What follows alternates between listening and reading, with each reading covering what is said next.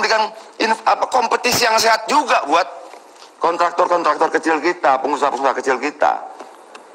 Ya, uh, terima kasih Pak Dirjen. Silakan Pak ya, Dirjen. Terima kasih, Minan. Maaf. Sebelumnya uh, ini penting menurut saya Pak Dirjen. Situasi negara kita sekarang karena COVID sedang dalam situasi yang secara ekonomi agak berat. Artinya bahwa kita punya kewajiban sama-sama untuk kemudian memeriksa potensi-potensi pendapatan negara mana yang harus kita tingkatkan. Tapi agak sulit kita melihat potensi itu kalau kemudian angkanya kita belum dapatkan. Karena sebenarnya pertanyaan kedua saya adalah misalnya dari sektor tambangnya. Mungkin tidak kita naikkan 100% pendapatan itu dari 4,7 kalau tidak salah pimpinan tadi ya. 4 4,78. Mungkin tidak kita jadikan sekitar 9 triliun kalau kemudian tadi angka yang dikeluarkan 14 triliun, mungkin tidak kita jadikan 28 triliun. Paling tidak tambang ini harus kita maksimalkan meningkatkan pendapatan negara. Kenapa? Karena alamnya menjadi rusak.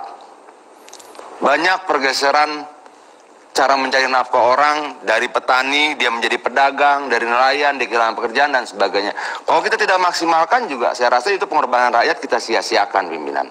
Nah itu yang pertama. Terus yang kedua mungkin tidak kita meningkatkan pendapatan negara dengan memaksimalkan potensi-potensi tambang yang dimiliki oleh perusahaan-perusahaan tambang seperti misalnya Vale. Vale itu kan dapat IPPKH dari 22 ribu dari 22 ribu uh, iup mereka di wilayah Kolaka dia dapat 11.000 IPPKH-nya. Nah, saya tidak tahu 11.000 ini mau diapakan. Apakah kapasitas smelternya cukup menampung hasil dari 11.000 hektar yang sudah dapat IPPKH ini dan kemudian diproduksi atau tidak? Kalau tidak mampu menampung kapasitas smelternya, apalagi tahun depan turun karena listriknya mati ya. Kemarin disampaikan seperti itu kan turun cuma 65 ribu produksinya. Nah ini seribu gimana bilang? Yang satu shutdown furnisnya, jadi turun produksinya. Oh iya.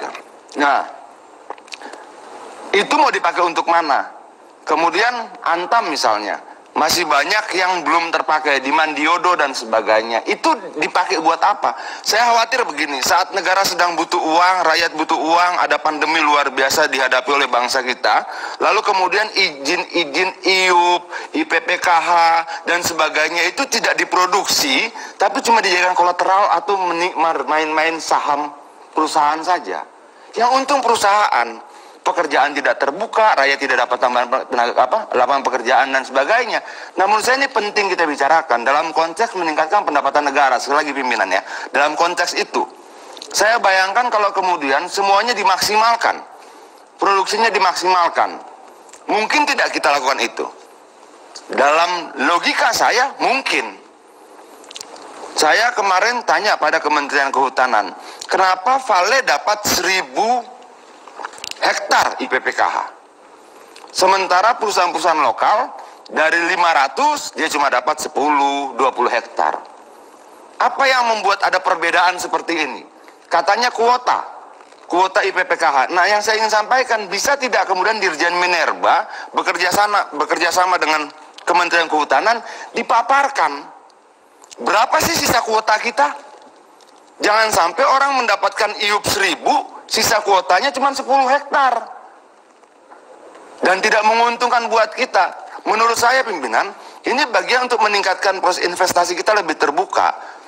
Orang bisa dapatkan IUP, tapi belum tentu bisa dapatkan IPPKH. IUP itu nganggur sedemikian rupa karena kuota IPPKH-nya habis. Kenapa tidak dibuka saja akses informasi publik ini? Kan ini bukan rahasia negara toh. Nah maksudnya untuk Dirjen Minerba bisa tidak kita kerjasama. Jadi orang yang mengurus IUP Tahu dia bisa dapat berapa lagi sisa kuota IPPKH-nya. Jangan sampai dia dapat, dapat izin IUP-nya, IPPKH-nya dia tidak dapat. Akhirnya IUP-nya juga tidak bisa diapa-apain. Uang sudah keluar, tenaga kerja tidak terbuka. Itu. Nah, kedua, eh, terakhir pimpinan, saya mau minta begini. Banyak keluhan untuk di Virtu, di Vale, di Antam segala macam yang sepertinya tidak maksimal mempekerjakan kontraktor lokal. Kemudian selalu ada middleman middleman itu begini. Untuk bekerja di Virtu, dia tidak bisa langsung ke Virtu. Selalu ada orang tengahnya. Jadi seolah-olah apa sangat eksklusif. Begitu juga Antam, begitu juga Vale. Jadi kalau misalnya orang mau menjual sesuatu, bahan baku misalnya, batu kapur misalnya ke Virtu, dia tidak bisa berakses langsung ke Virtu, dia harus pakai middleman. Jadi keuntungan si penambang lokal ini terpotong lagi sekian dolar untuk biaya si middleman ini. Middleman ini tidak punya apa-apa selain selain jejaring politik, jejaring terhadap pengambil keputusan di perusahaan. Nah bisa nggak yang begini-begini kita potong? Agar dia kontraktor yang cuman kapasitas 500 juta, 300 boleh berakses langsung. Tidak keuntungan kecil itu dipotong lagi, dipotong lagi, dipotong lagi untuk membiayai orang-orang tengah seperti ini. Kenapa? Saya berharap begini pimpinan. Suatu ketika nikel pasti habis. Apakah habis karena ditambang atau kemudian perubahan kebutuhan terhadap mineral kita? Ada pakar-pakar katakan 2030, 2035 kita sudah tidak nambang nikel lagi di bumi. Kita sudah tidak nambang mineral di bumi, kita sudah akan menambang mineral kemungkinan di asteroid, di galaksi luar. Jadi kemungkinan nikel ini tidak lagi ditambang banyak kemungkinannya karena apa? Oke, kalau itu terjadi, rakyat kan sudah harus kuat, pimpinan. Secara ekonomi, secara finansial dia harus kuat. Kontraktor-kontraktor lokal yang lima tahun lalu modalnya 100 juta, harusnya ketika ada Antam di sana, ada Vale di sana, ada Virtu di sana, ada Bintang 8 Mineral, IMIP dan sana, harusnya sekarang omset mereka sudah 5 miliar, 6 miliar. Nah, saya berharap ada keberpihakan investor-investor besar ini, pimpinan, kita semua di sini untuk care terhadap kontraktor-kontraktor lokal ini. Bagaimana caranya? Salah satunya saya pikir dia akan mereka berakses langsung dong pada perusahaan tidak perlu dihalang-halangi untuk kepentingan politik lokal, kepentingan politik yang apa? Ya, mengambil selisih saja. Satu dolar, sekian sen, satu dua dolar, segala macam. Menurut saya itu membunuh mereka loh. Kalau kita lihat dari permodalan, kontraktor lokal dengan modal 250 sampai 500 juta, itu kategorinya kecil menengah. Masa kita matiin juga?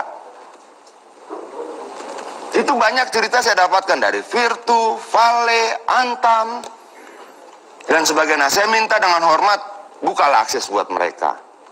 Biarlah mereka berkompetisi sama seperti kalian, investor ini juga minta berkompetisi yang sehat di bangsa kita.